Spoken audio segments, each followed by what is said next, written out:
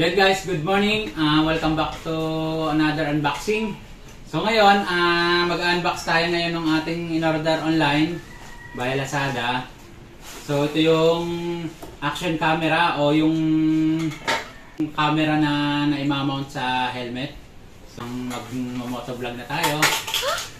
Samahan nyo ako ngayon sa pagbubukas nito. Halos kararating lang. Bali ito ay overseas. Ah, galing China. Kaya matagal, may higit isang linggo nung in-order ko to. Saan nyo ako pag-unbox nito, kung ikukumpara natin doon sa GoPro, ah, mas talagang expensive yung GoPro. So ito yung ating in-order ay yung Akaso Brave 7. Nabili ko siya ah, 7,100. May free ng mic. Samahan nyo ako ngayong mag-unbox.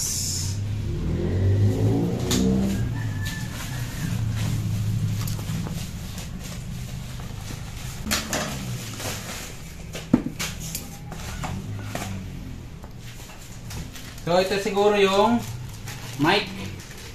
Oh, ito na nga. Unahin muna natin yung mic. So ito yung mic na nagkakahalaga na 400 plus. So kapag inabil niyo yung 7.1 kasama na tong internal mic. So nababasa ko sa review ni Akaso, uh, may na talaga yung kanyang mic kaya nag-provide sila ng external. So ito naman yung ating product na ngayon.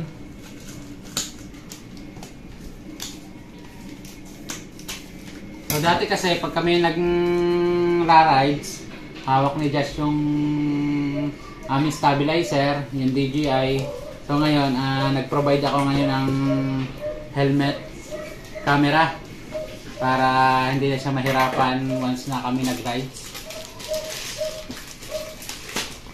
So, ito siya. Akaso Brave 7. Mukha siyang GoPro.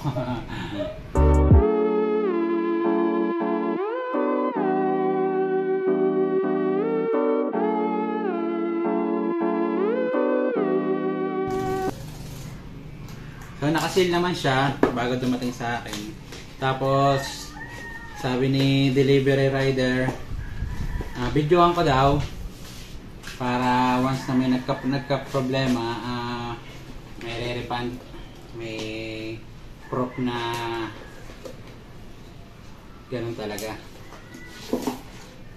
So yun. Run! So kaya nagustuhan ko si Akaso, uh, dual monitor na to siya. Meron na siya sa may pinakamukha sa unahan ito. Tapos meron na rin siya sa mismong ano para sakali mang mag-selfie ka, selfie video ka, kita mo sa monitor na ang iyong anggulo kung sakop ka ba ng ng lens ng camera. So kaya nagustuhan ko si Akaso. So ngayon, ah uh, try natin itong mga nakalagay dito sa loob, dito sa loob nito.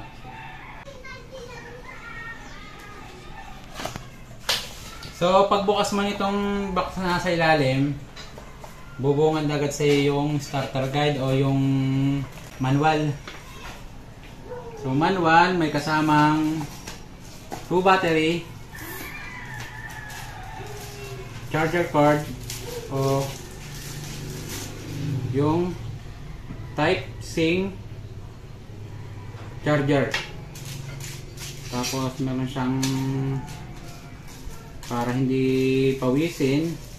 Tapos ito yung mga clip. Mga hook. Strap. Marami. Maraming adapter tapos pwede rin siya sa bike. Tapos ito ay hindi ko alam kung ano to eh. Ah, yung pamunas sa mga lens, yung parang sa, sa mga salamin, yung mga malalambot na fiber, taka yung double-sided na patch o yung tape. Tapos ito yung ilalagay din sa adapter, strap, adapter ulit, battery hub o yung charger hub. Good for dalawang battery niya. Pwede mo i-charge. Kung sakali mang na lobatan ka ng dalawa magkasunod, pwede mong sabay silang i-charge. Tapos, ito yung ah pinaka ano nito, yung parang relo niya, magiging controller mo once na nakalagay sa helmet mo. Pwede dito mo na lang siya controlin kung kung gusto mong mag-camera, mag-video, mag-take ng video. So, dito na lang siya. Kasama na siya to. Uh, try nating buksan yung camera kung may charge nga ba siya.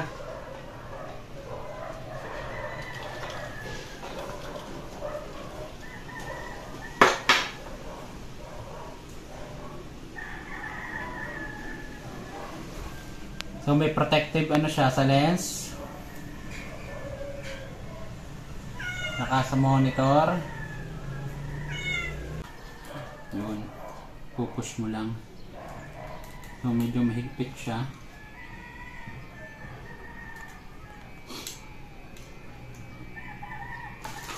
So yun ah. Try na natin tong kung may charge to.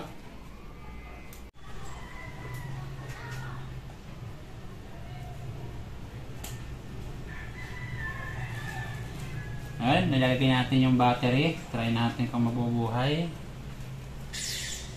So yun, nabuhay. So ito nga po pala ay touchscreen. Kaya madaling set.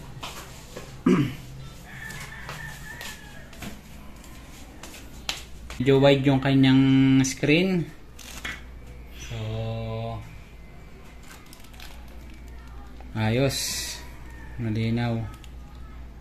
Hanggang dito muna yung ating video. So, i-explore ko muna lahat ng mga settings nito. Tapos yung mga SD card, wala pa rin kasama siyang SD card. So, hanap na tayo may pwede ditong SD card. So, salamat sa pagsama nyo sa pag-unbox. Maraming maraming salamat. And see you next vlog. Bye-bye!